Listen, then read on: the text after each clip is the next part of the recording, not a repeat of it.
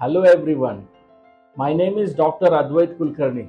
I am a senior consultant neurologist practicing in Bangalore at my own clinic, HSR Neuro Clinic, and I am a visiting consultant at Manipal and Narayana Group of Hospitals. Patients who come to emergency with a severe acute headache, that is a thunderclap headache, can have rupture of intracranial aneurysm.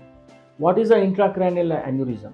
It is basically the weakness of the blood vessel wall where the blood vessel wall becomes weak and it outpouches and it forms a extra pouch in the blood vessel lumen.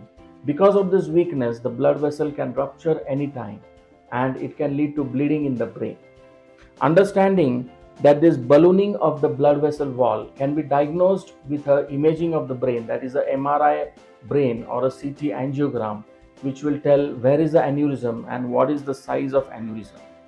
As I discussed, the symptoms can be very, very dramatic, in which the patient can come with severe headache, neck pain, vomiting, loss of consciousness, and also paralysis. If the bleeding happens in the left side of the brain, the patient may have paralysis on the right side.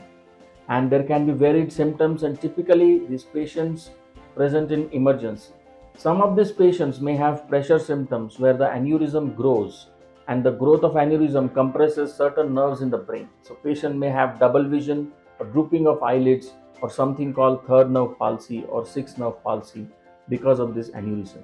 The treatment in many cases can be conservative.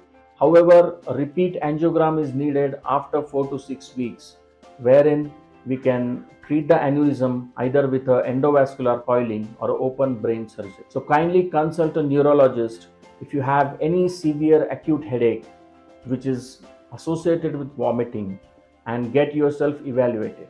Thank you.